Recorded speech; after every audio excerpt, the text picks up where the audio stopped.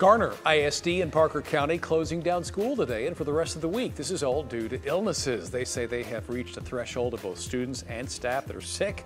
They say they will sanitize their facilities during that time off and they plan to return to their normal schedule next Monday.